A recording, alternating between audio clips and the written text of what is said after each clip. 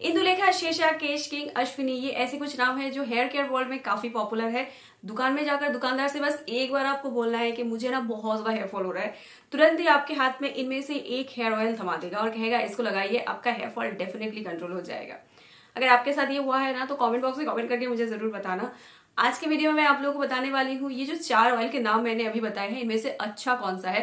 हो सकता है आपके साथ मेरा ओपिनियन डिफर करे, क्योंकि हर किसी का स्कैल्प बालों का टेक्सचर एनवायरमेंट पानी, बहुत सारी चीज़ें होते हैं, ये अलग होता है। और हर किसी के ऊपर एक हर एक पर्टिकुलर तेल अलग अलग तरीके से रिएक्ट करता है। मोटा मोटा तौर पे देखा जाए तो लगभग तेल को ऐसे तैयार किया जाता है कि लगभग seventy two eighty percent reviews match कर ही जाते हैं। अगर हम सही तरीके से तेल को अप्लाई करके आपको बताते हैं तो। आज के वीडियो में मैं आप लोगों को बताने वाली हूँ, इन चारों में से कौन सा तेल मुझे अच्छा लगा। इनको रिव्यू करने के बाद वैसे इनमें से इंदुलेखा, सेशा, अश्विनी सभी को लगभग एक महीना करके मैंने इस्तेमाल किया है और उसके बाद वीडियो डाला है। लेकिन उसके बाद जो बचा हुआ तेल था, उसको भी मैंने लगाया था अपने बालों में। ये देखने के लिए कि कुछ फ़र्क पड़ा है कि नहीं। आज के वीडियो में उसके बारे में हम लोग बात करने वाले हैं कि इनमें से बेटर कौन सा है। चलिए गाइज़ शुरू करते हैं आज का और एक हेयर केयर का वीडियो वीडियो देखते देखते चैनल को सब्सक्राइब ज़रूर कर लेना, नीचे नोटिफिकेशन बटन है, उसको भी प्रेस कर देना ताकि जब भी मैं कोई वीडियो अपलोड करूँ, आपके पास उसकी जानकारी तुरंत पहुँच जाए। गाइज़ ये वीडियो ना एकदम 100 परसेंट नॉन स्पॉन्सर्ड वीडियो है। मैंने इन सभी तेल को बारी बारी से अप्लाई करके देखा है और इसी के ऊपर है आज का वीडियो वैसे अगर आपको इंडिविजुअल रिव्यू देखना है तो मेरे चैनल पे डिस्क्रिप्शन बॉक्स में आपको इन सारे वीडियोज़ का लिंक मिल जाएगा। आप जाकर चेकआउट कर सकते हो। हो सकता है ना कभी कभार एक पर्टिकुलर ऑयल को लगता है कि हाँ उसको मैं लगाऊँगी, उसको लगाकर देखूँगी कि वो ऑयल कैसा है। बहुत सारे लोग इसके बारे में अच्छी अच्छी बातें कर रहे हैं। तो हो सकता है कि आप लोगों का मन हो कि मैं इंदुलेखा को ट्राई करूँ, या फिर केश किंग को ट्राई करूँ। ट्राई करने से पहले रिव्यू ज़रूर देख लीजिए। हो सकता है कि आपके साथ हंड्रेड परसेंट मेरा रिव्यू मैच ना करे, लेकिन सेवेंटी परसेंट तक तो मैच कर ही जाएगा। ऐसा हो ही जाता है। तो अगर आपको इंडिविजुअल रिव्यू देखना है लिंक में क्लिक कर सकते हो। सबसे पहले मैं बात करने वाली हूँ इंदुलेखा भृंगा हेयर ऑयल के बारे में। वैसे इसमें लिखा है कि भृंगा मतलब भृंगराज का मिश्रण है इसमें। भृंगराज के साथ इसमें और भी अलग अलग हर्ब्स को मिलाया गया है। हंड्रेड एम का प्राइस है I think three thirty three rupees very very costly product और इतना छोटा सा बॉटल आपको बहुत ज़्यादा पे करके खरीदना पड़ता है। इंदुलेखा का शैम्पू भी मिलता है और बॉटल में ये लिखा है कि अगर आपको अच्छा रिज़ल्ट पाना है तो हफ़्ते में तीन बार करके इस तेल को लगाना है। तीन बार ही आपको इंदुलेखा का शैम्पू अप्लाई करना है और उसके बाद बालों को वॉश करना है और ऐसा आपको तीन महीने तक करना है, तभी आपको विजिबल इंप्रूवमेंट और अच्छा रिज़ल्ट मिले इंग्रेडिएंट लिस्ट में आपको ढेरों सारे इंग्रेडिएंट दिख जाएँगे और पढ़ने के लिए थोड़ा सा पेशेंस भी चाहिए, क्योंकि इतने छोटे छोटे अक्षरों में लिखा रहता है। तो जो मेन चीज़ हाईलाइट किया गया है वो है आमला भृंगा हरिदकी ऐसे बहुत सारी चीज़ें जिनको नॉर्मली हम लोग जानते हैं कि हाँ ये सारी चीज़ें बालों के लिए अच्छा है। और ये oil paraben sulphate dye synthetic perfume इन सभी से मुक्त है मतलब एकदम नेचुरल हर्बल ऑयल है तो जिसको हम लोग इस्तेमाल कर सकते हैं। इसको लगाने के बाद जो मैंने फील करा है, सबसे पहली चीज़ तो मैंने ये देखा था, इंदुले का ऑयल को लगाने के बाद हेयर फॉल कंट्रोल हुआ था मेरा। उस टाइम पे मुझे सीवियर हेयर फॉल हो रहा था, और इसको लगाने के बाद हेयर फॉल थोड़ा बहुत कंट्रोल हुआ था। दूसरी चीज़, इस तेल को ना आप अगर सारा दिन में एक दो घंटा रख के शैम्पू कर देते हो, उतना अच्छा रिज़ल्ट नहीं मिलता है। इसको ओवरनाइट रखोगे तो अच्छा रिज़ल्ट मिलेगा। वो मैंने भी नोटिस करा था कि ओवरनाइट रखने के बाद हेयर फॉल अच्छे तरीके से कंट्रोल हो रहा था।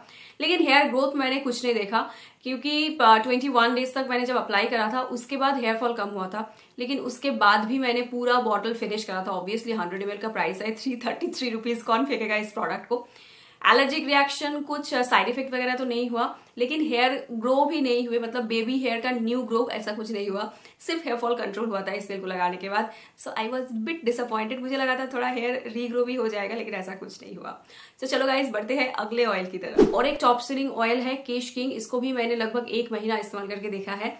और इसके भी बॉटल में लिखा है कि हफ़्ते में आपको इसको तीन दिन अप्लाई करना है ओवरनाइट रखना है अच्छा रिज़ल्ट पाने के लिए। इसका छोटा बॉटल भी अवेलेबल है। अगर आपको टेस्ट करना है ना कि ये तेल कैसा है, आपके ऊपर सूट करा है कि नहीं, मेरा सजेशन यही रहता है कि आप छोटा सा एक बॉटल खरीद लो, उसके बाद इसको टेस्ट करके देखो। और केश किंग के बॉटल में भी ये लिखा है कि केश किंग तेल को लगाने के बाद अच्छा रिज़ल्ट पाने के लिए आपको केश किंग का ही शैम्पू लगाना पड़ेगा।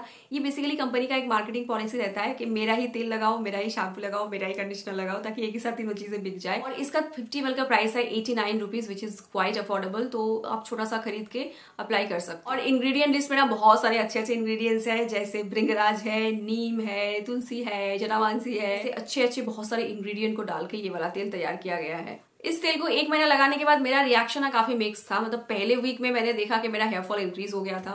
अब दूसरे वीक में क्या हुआ? हेयर फॉल तो कम हो गया, लेकिन मेरे स्कैल्प में ईजिंग होना शुरू हो गया। मतलब थोड़ा सा रिएक्शन भी मुझे हो गया था। थर्ड वीक में हेयर फॉल भी कंट्रोल हो गया और ईचिंग भी कम कम हो गया। लेकिन हेयर फॉल कंप्लीटली बंद नहीं हुआ। पहले वीक में मेरा हेयर फॉल इंक्रीज हो गया था। थर्ड वीक में जाके जितना हेयर फॉल मुझे अभी हो रहा है, हर दिन उतना ही हो रहा था। और उसके बाद मैं इसको लगाती गई लगाती गई, लेकिन कुछ भी नहीं हुआ एक महीने में। थोड़ा सा तो इम्प्रूवमेंट होता, लेकिन ऐसा कुछ भी नहीं हुआ। इट वॉज़ एवरेज वाला तेल। मेरा एक्सपेक्टेशन इस तेल को लेकर काफ़ी ज़्यादा हाई था। लेकिन वो एक्सपेक्टेशन इसने फुलफिल नहीं करा। तो मतलब कुछ मैजिकल इंप्रूवमेंट मुझे इस तेल को लगाने के बाद फील नहीं। इनिशियली इस तेल को लगाने के बाद मेरे काफ़ी हेयरफॉल हो गए थे तो मैं थोड़ा सा डर भी गई थी। आपके साथ भी ये हो सकता है, हो सकता है कि आपके ऊपर ही एक बार में ही सूट कर जाए, लेकिन मेरे साथ ये हुआ था कि पहले वीक में मेरा हेयरफॉल बढ़ गया था। तो चलिए बढ़ते हैं तीसरे तेल की तरफ़, और वो है सेशा ऑयल अब सेशा ऑयल को आप में से कितने सारे लोगों ने लगाया है? काफ़ी पुराना तेल है, पहले पेपर में ऐड देते थे मतलब कमर के नीचे मतलब पैर के घुटनों के नीचे तक लंबे बाल, एक औरत ऐसे खड़ी हुई है, एक कोम लेकर ऐसा ऐड हमारे यहाँ पे बंगाली पेपर में आता था। और उसके बाद मुझे भी लगा था हाँ इस तेल को बार लगा के देखते हैं कि ये तेल कैसा है। ये भी इंडिया का एक टॉप सेलिंग तेल है। मतलब जितने भी तेल में आप हर्बल वर्ड चिपका दोगे ना इंडिया में वो बिक जाएगा। क्योंकि हमारे देश में लोगों में ना हेयर फॉल को लेकर बहुत ज़्यादा प्रॉब्लम है। ब्रेकअप के बाद लोगों की हालत हो जाती है। आजकल हेयर फॉल के बाद लोगों की हालत ऐसी ही हो रही है। लेकिन हम लोग अपना लाइफ चेंज नहीं करते हैं। उसके बदले तेल को लगाते हैं शैम्पू को लगाते हैं। लाइफ चेंज नहीं करोगे तो हेयर फॉल होता ही रहेगा। तो सेशा ऑयल का जो थर्टी एम का बॉटल है, उसका प्राइस मैंने यहाँ पे लिख रखा है, ये है थर्टी नाइन रुपीज़ फ़िलहाल चल रहा है, एकदम छोटा सा बॉटल है। कभी भी लगाने की इच्छा होना छोटा बॉटल खरीद लो, ज़्यादा बड़ा बॉटल नहीं खरीदने का नहीं तो आपका पैसा वेस्ट हो जाएगा।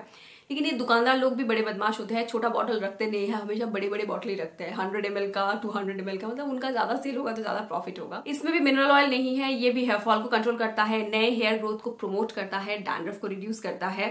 एंड इसके साथ साथ ये आपके बालों को हेल्दी बनाता है और स्कैल्प को भी हेल्दी रखता है। ऐसा इसमें लिखा है। लेकिन सेशा ऑयल को लगाने के बाद भाई साहब, मेरा एक्सपीरियंस बहुत ही खराब था। मेरे बहुत सारे हेयरफॉल हो गए थे। हालाँकि इसमें लिखा है कि इसमें कोई भी artificial colour perfume dye silicone paraben वगैरह कुछ भी नहीं है। और इस तेल को लगाने के बाद बहुत ज़्यादा हेयरफॉल हुआ। तो मैंने इसको मतलब बीच में लगाना छोड़ दिया। उसके बाद अभी भी ये बॉटल मेरे घर में पड़ा है और अभी भी यहाँ तक है। जितना, जितनी बार मैंने लगाने की कोशिश की, उतनी बार ही मुझे सीवियर हेयर फॉल हुआ। स्कैल्प में कोई इरिटेशन नहीं होता है। जब भी स्कैल्प में इरिटेशन होता है, समझ में आ जाता है कि ये तो मेरे स्कैल्प के लिए ठीक नहीं है। स्कैल्प में इरिटेशन वगैरह नहीं हुआ, लेकिन हेयर फॉल हो रहे थे बहुत ज़्यादा। तो मैंने इसको लगाना बंद कर दिया। काफ़ी गर्मी लग रही थी, इसलिए मैंने बालों को ऐसे बाँध दिया है। फाइनली गाइस मैं बात करने वाली हूँ अश्विनी हेयर ऑयल के बारे में। वो ऐसा एड था ना, अश्विनी अश्विनी अश्विनी, ऐसा लगता है कि लोग दौड़ के आ रहे हैं आपके बालों को ठीक करने की तो अश्विनी हेयर ऑयल इन तीन तेल से थोड़ा सा अलग है, क्योंकि ये एक मेडिसिनल ऑयल है, ऐसा इसके बॉटल में लिखा है।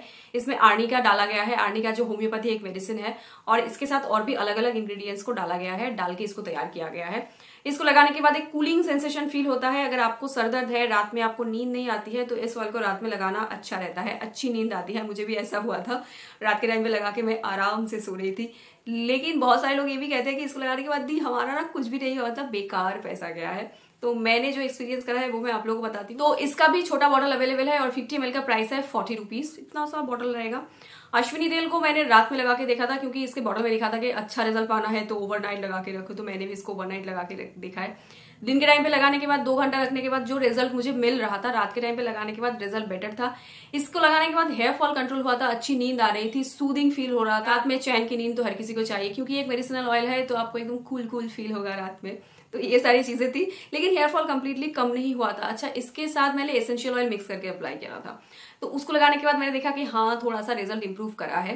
तो अगर आपका तेल एकदम ही बेकार हो गया है मतलब आपने बहुत ही उम्मीदों के साथ खरीदा और उसके बाद कोई भी काम नहीं करा है, उसके साथ ना आप थोड़ा सा एसेंशियल ऑयल डालकर लगा के देख सकते हो। ट्राई आउट कीजिए ट्राई नहीं करोगे तो समझ में नहीं आएगा। कैस्टर ऑयल मिलाकर देख सकते हो लगा के। अगर तेल में ऑलरेडी कैस्टर ऑयल है तो आपको डालने की ज़रूरत नहीं है अलग से, लेकिन नहीं है तो आप थोड़ा सा कैस्टर ऑयल डाल सकते हो।